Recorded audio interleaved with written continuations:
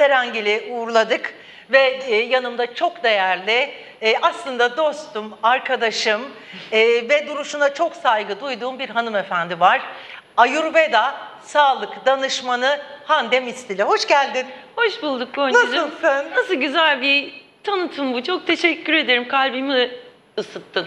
Ben teşekkür ediyorum geldiğin için. Aslında sen deniz deryasın. Estağfurullah. çünkü normal sohbetlerimizde de biliyorum ders çalışıyorsun, eğitimler al- alıyorsun, ileriye yönelik çok güzel hedeflerin var. Ee, biraz Ayurveda e, Enstitü'den bahsetmek istiyorum. Çünkü farklı özellikleriniz var. Ayurveda Enstitü'nün kurucularındansınız. Doğru. Ortağım Lale Yılmaz'la birlikte e, Ayurveda Enstitüsü'yü kurduk. İnşallah diğer Ayurveda gönüllüleri, sevenlerle de büyüteceğiz bu yapıyı el ele vererek. Ayurveda çünkü çok basit, çok ekonomik, ucuz, herkesin evde kendi kendine uygulayabileceği koruyucu, önleyici bir tıp sistemi. Evet. Biz de bunu enstitü çatısı altında bir araya getirdik ve e, benim ben hala Joyful Belly School of Ayurveda'da okuyorum Amerika'da. Çok ciddi bir content alıyoruz Doktor Vasant Lat ekolünün. Bunun eğitimlerini veriyor olmak ve Hindistan'a e, bu Ayurveda dediğimiz şey arınmaya, temizlenmeye, temiz tutmaya çok değer veriyor. Bunun yol ve yöntemlerini İsviçreli ortağımızla birlikte organize ediyoruz. İşte o en farklı özelliğiniz. Evet. Hem İsviçre yani sana bir danışan Aha. e, sağlığıyla ilgili gerçekten Ayurveda e, sağlıklı yaşamının içine girmek isterse sen hemen Hindistan ve İsviçre'deki kontaklarınla bir araya geliyorsun. Evet, doğru. Çünkü gerçek Ayurvedik doktorlar ve e, terapistler orada değil mi? O yüzden mi? Evet, yapımız bunu içeriyor. Aşı Experience'la olan ortaklığımızda Ayurvedik doktorlarımız var. Bu doktorların bir kısmı Avrupa'da, bir kısmı Hindistan'da ve e, hem Avrupa'da çok az e, olabilecek sayı, sayıları çok az ama gene var. E, ve Hindistan'da asıl Kerala bölgesinde Panchakarma denilen beşli arınma terapilerini sunuyoruz. Burada çok değişik hastalıkların tedavi edildiğini gördük e, Gonca ve ben istiyorum ülkemizdeki herkes bu sağlık faydasından e, şifalanabilsin. Ayurveda'nın temelinde binlerce yıl öncesinde e, insanlar doğal yani bu kadar teknoloji ileri olmadığı için doğal şeylerle değil mi? Aynen, Besleniyorlar. e, tedavi biçimleri ona göre. Yani Ayurveda'yla sen bize doğala mı? Hadi gelin doğala mı diyorsun? Ya hem doğala gelin diyorum hem kendinize bakmayı bilin. Çünkü o ilk nefesi aldığımız an bize bir can emanet ediliyor. E, emanete de ihanet etmemeli. Hayat çok zor, zorluyor. Ruhumuz, zihnimiz, beynimiz, bedenimiz kirleniyor. Havasıyla, suyuyla, ilişkileriyle. E, bu can bunu belli bir yerden sonra taşıyamıyor. Destek istiyor. Nasıl klimanın filtresini değiştirmemiz gerektiğini biliyoruz. Arabanın benzini bitince benzinciye götürüp dolduruyorsa e, bu da arada bir bir destek istiyor. Bir bakım, temizlik Evet. İstiyor. Ee, sevgili yönetmenim, Ayurveda Enstitüsü'nün de e, Instagram adresini ekranda verelim istiyorum. Çünkü sizleri tanıyorum. Nasıl ders çalıştığınızı, nasıl işinize hem Lale Hanım'ın e, hem senin ne kadar titiz olduğunuzu gerçekten hani severek ve Evet. isteyerek yapıyorsunuz. Türkiye'de bir sürü festivaller oluyor. Ayurvedik festivaller, Ayurvedik beslenmeler. Ne kadar doğrusu yapılıyor? Şöyle şimdi kimsenin yaptığına doğru ya da yanlış demek benim haddim olmaz. Yanlış olmuş olurum. Bence herkes elinden geleni yapmaya çalışıyor. Ha bizim burada niyetimiz ne? Gerçekten bu işin nesilden nesile eğitimini alarak işte bizim mesela gittiğimiz pançakarma tesislerinde Hindistan'da ve e, danışanlarımızı götürdüğümüz hastalık protokollerine göre Ayurvedik doktorların yönlendirmeleriyle yapıyoruz bu organizasyonu. Üç nesildir aile Ayurvedik doktor. Ya işte çok önemli. Ya da o tesis dört nesildir ailenin tesisi. Zamanla modernleştikçe tesisin yapıları dönüşmüş. Aslında sağlık turizminin bir yani sağlık turizmi yapıyorsunuz. Ya öyle Gibi. demeyi sevmiyorum. Ee, Ayurveda'yı çok seven, Ayurveda'ya aşık bir kadın olarak Ayurveda'nın her eve girmesini istiyorum ve daha e, koruyucu, önleyici sistemlerle herkes tanışsın.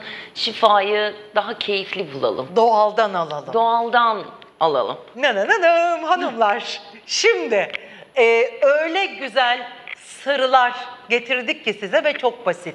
Mesela hanımlar ne ister? Hande hanımlar ne ister? Ya- Güzel görünmek ister. Kim istemez? Estetik dokunuşlar yapılıyor güzellikler için ama sen buna karşısın diyorsun ki bizim mutfağımızda mucizevi bitkilerimiz var ve biz kendi güzelliğimizi kendimiz sağlayabiliriz. Hadi şöyle bir kalkalım sevgili yönetmenim. Ee, şöyle bir Bakalım ekranda neler gelecek. hanımlar ekran başına diyorum çünkü efendim ışıltılı, renkli, pırıl pırıl bir cilt için bir maske mi tarif edeceğiz? Evet, maske tarif edelim ama bilin ki bizim cildimiz bedendeki en büyük organımız, Evet, dokumuz. senin kameran bu. Ha, buraya mı bakıyorum? İzleyicilerimize buradan Okey. konuşacak. Ee, beden en büyük organımız. Bu sebeple, ay beden demişim, cilt en büyük organımız ve bize çok şey söylüyor. Ben elimin üzerine bakarak, bağırsak sağlığımla ve yüzüme bakarak da e, karaciğerim, böbreklerim vesaire ile ilgili bilgi alabilirim. Senin göz aklarından karaciğerindeki ateşin ne olduğunu algılayabilirim. Ayurveda böyle çalışıyor. Evet. Hani direkt böyle ultrasonlara, röntgenlere girmeden önce. Evet. Cildi sağlıklı tutmak istiyorsak iyi besleyeceğiz. İyi oksijenlendireceğiz ve sağlıklı besleyeceğiz. Yapıyor muyuz bunu? Gel. Şimdi bu hayat temposunda bunu yapıyorum demek kendim bile zorlanıyorum Konca. Ee, dürüst olmak lazım.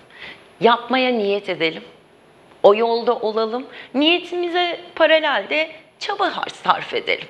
Unutmayın kendimize şefkatli olalım. Biz bunu hak ediyoruz Evet ya. ve en yapmadığımız şey. Hele kadınlar Evet. kendimizi paralıyoruz, paralıyoruz, paralıyoruz. Evet. Ee, o en sonunda ne yapıyoruz? İşte doğru düzgün bir krem bile e, sürmeden yatağa Aynen. girebiliyoruz.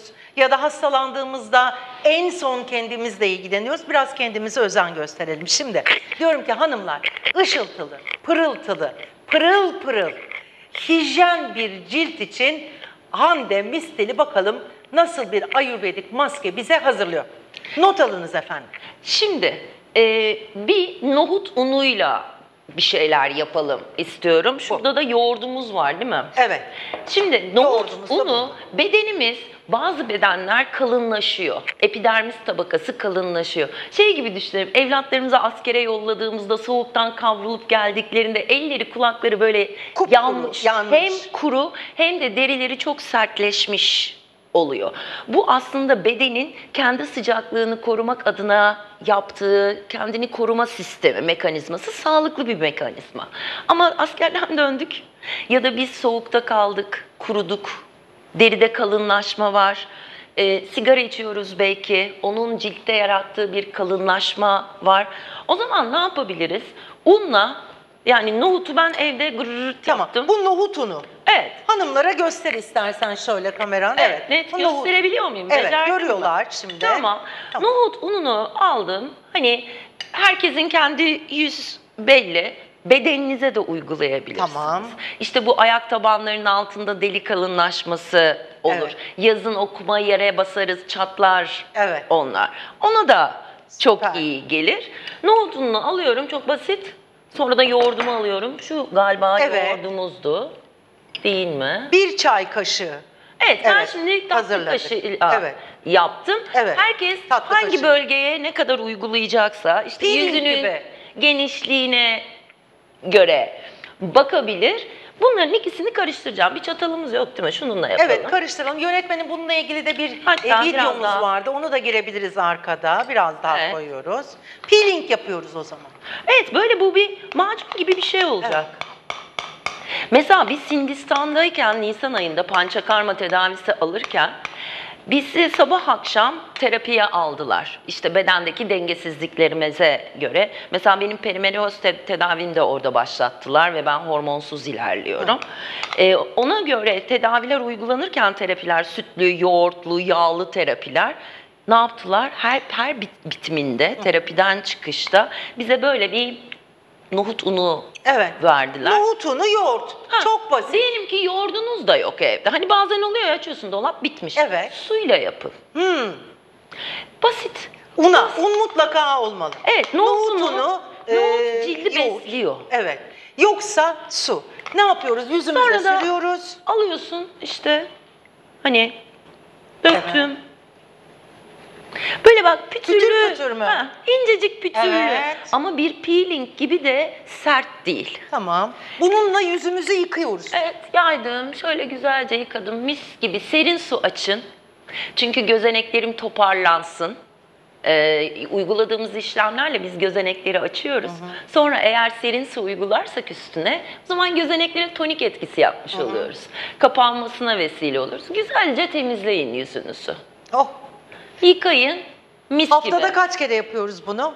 Ee, eğer her gün makyaj, ağır makyaj yapıyorsa kişiler diyorum ki bir iki günde bir yapın. Yapın. Cilt bir nefes alsın. Tamam yaptık. Oh nefes aldı. Üstüne ne süreceğiz? Üstüne ben ne yapıyorum? Safran yağ. Biliyorum çok pahalı bir yağ. Hani kızacaksınız belki Hande. Ama şöyle düşünün bir sürü kremlere vesairelere para harcıyoruz. Ne yapıyorum? Ben yağ e, gül hidrosolü, Tamam. gül yağını de o birinci katmanı yaptım. Tamam. İkincisinde üstüne gül suyunu sıktım. Evet. Sonra şu safranın rengini bir göstermek istiyorum Evet. herkese. Bir de açabilsem konca. Ben açayım. Ah, yani becerdim. şeyden sonra gül suyuyla yıkıyoruz. Sonra Gül suyunu hatta cildimde bırakıyorum. Böyle onun iyice Oh, bitmesine izin vermeden hemen şöyle yönetmenim görüyor mu renginin Evet, görüyor. güzelliğini? Evet, evet. Bundan sadece iki damla çok kuvvetli bir yağ safran. evet. şöyle gösterebilirsin. Böyle Evet. iki damlacık aldım bunu pıt pıt pıt yüzüme yayacağım. Şimdi ziyan etmeyelim. Evet. Ondan sonra gel biraz da senin ellerine Evet. koyalım. Şöyle. Oh Evet. pırıl pırıl bir cilt. Buyurun efendim. Evet, pırıl pırıl bir cilt. Ha, isterseniz üzerine e, herhangi bir nemlendirici de sürebilirsiniz. Ben basit şeyler kullanıyorum. Evet. Eczanelerde mis gibi acı badem kremleri satılıyor. Evet. Rahmetli büyük babaannemin yaptığı gibi üzerine bir acı badem kremi sürüp yatıyorum. Tamam. Makyaj yapmasam da her gün cildimi sabah akşam temizliyorum. Bunu uygulayabiliriz. Makyaj yapılmasa da Safranı sadece peelingle- gece uygulayalım. Evet. Ağır bir yağ, bir de pahalı bir yağ. Evet. Ama gündüzleri temizleyin. Şimdi gece yüzümüze bunları sürüp yattık. E, hala o odada e, mikropla vesaireyle, malzemeyle temas ediyor cildimiz. Cilt yaşıyor sürekli. Sen uyusan da. Evet. Sabah da bunu bir temizleyin yüzünüzden. Oh mis. Evet. Ee, aslında bu sene biliyorsun makyajsız gezme moda. Evet. İşte hanımlar evde mutfakta yapabileceğiniz minik minik ayrıntılar. Peki. Hı. Ciltte bazen donukluk olabiliyor ya da renk değişimleri olabiliyor hanımlar beyler. Bu hanımlarda da oluyor beylerde de. Evet. Ee, donuk cilt ve e, renk değişimi için hadi bakalım kür hanımlara Hadi bakalım. beylere. Yoğurt cilde çok iyi geliyor. Hı.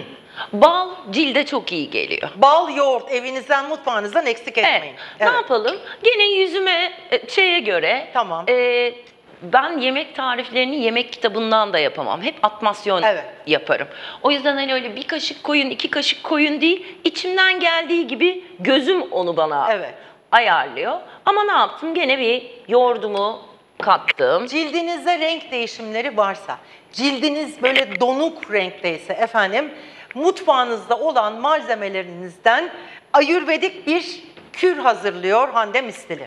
Evet. Orada gül suyumuz olacaktı. Stüdyoda Evet. da mis gibi kokmuştu. Evet, Değil mi? evet. Bir kontrol edelim. Evet. Evet. Şöyle bundan Hep da gül biraz... suyu olacak demek ki evimizde. Ya gül suyu özellikle yaz O da aylarında çok pahalı. cilde çok iyi geliyor. Evet. pahalı, e, haklısın. Hmm, Ama bizim hayatımız da çok değerli ya. Az ayakkabı çanta alalım. Evet. Bedenimize içten dıştan Kimyasal iyi, alacağımıza bu doğal Aha, yollarla iyi, yapalım. e, bakım verecek Evet. e, şeyler kullanıyor Yoğurt koydun, olalım. bal koydun, gül suyu koydun. Ve Sa- zerdeçal, Evet, evet, olmadan olmaz. Zerdeçalı çok koymayalım. Niye? Biliyorsunuz zerdeçal kuvvetli bir turuncu ve e, konfeksiyon sektöründe çok kullanılır boya, kumaşları boyayabilmek Evet. için. E, cildimiz öyle turuncu turuncu Evet. olmasın diye. Gene karıştırıyorum. Evet. Tekrar malzemeleri sayalım. Bal koyduk.